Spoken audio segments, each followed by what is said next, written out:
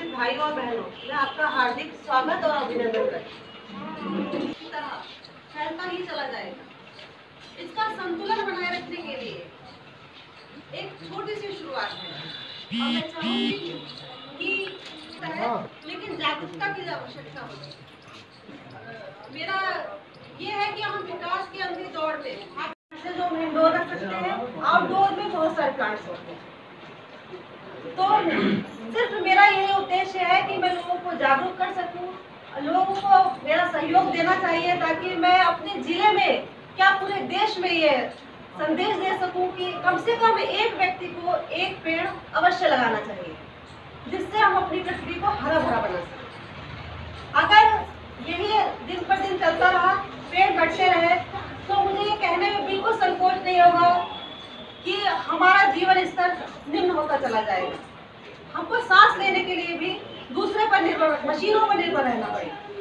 जैसे दिल्ली के आंकड़े देखिए, पता लगाना चाहिए। रासायनिक उत्सर्जन बढ़ता जा रहा है। लोग एसी लगवाते हैं, गाड़ियों में एसी है, घरों में एसी है, हर जगह एसी है। तो हमारी जो बैंक है, वो एक ऐसे प्लांट्स देती है कि उससे आप गाड़ी में भी रख कर चल सकते हैं। जैसे आपने एसी लगा लिया, आपको गैस उसमें आ रही है लेकिन आपके अंदर इसके साथ साथ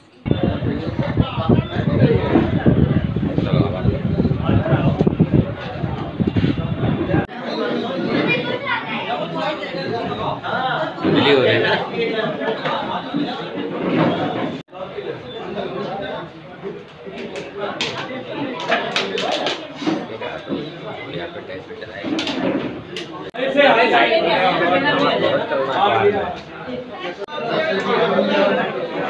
पर्यावरण में जो हमारे प्रदूषण हो रहा है, इसको बचाने के लिए वृक्ष का ही लगाना सबसे आवश्यक है।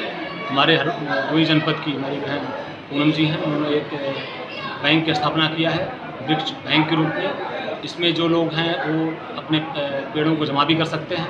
इसके बाद बाहर जहाँ कहीं चाहते हों कुरियर के माध्यम से उनको दे दिया जाएगा। निश्चित रूप से बहुत अच्छी पहल है जो महिला के द्वारा किया गया है और इस संस्था के द्वारा जो पर्यावरण के लिए प्रदूषण से मुक्ति का अभियान चलाया जा रहा है, उसमें हम सब लोगों की भागीदारी होनी चाहिए। आज इस कार्यक्रम में काफ़ी महिलाओं ने भाग लिया और सबने संकल्प लिया कि अपने घर में, आँगन में किचन गार्डन में, पड़ोस में सबको इसके लिए प्रोत्साहित करेंगे और हर आदमी कम से कम एक वृक्ष इसका मेन मकसद ये है कि जो पर्यावरण प्रदूषण जो बढ़ रहा है, उसको रोका जाए। और सभी नागरिकों को जागरूक करने के लिए और इस ज़िले में हर हर जगह कोने कोने में इसको बढ़ावा देने के लिए एक छोटी सी शुरुआत है मेरी। और मैं चाहूँगी कि इसमें सब लोग जुड़े और देश को स्वच्छ, सुंदर और ऑक्सीजन ज़्यादा बनाने के लिए हमारा सहयोग दें। और बस इतना ही कहना चाहूँगी, ज़्यादा कुछ नहीं, क्योंकि बाकी सभी लोग जागरूक हैं, जानकार हैं। एक छोटी सी शुरुआत के लिए ट्री बैंक की। आप लोग इकट्ठा हुए हैं तो मैं चाहूँगी कि इसमें पूरा आप योगदान दें, मेरे सहयोग को आगे बढ़ाएँ।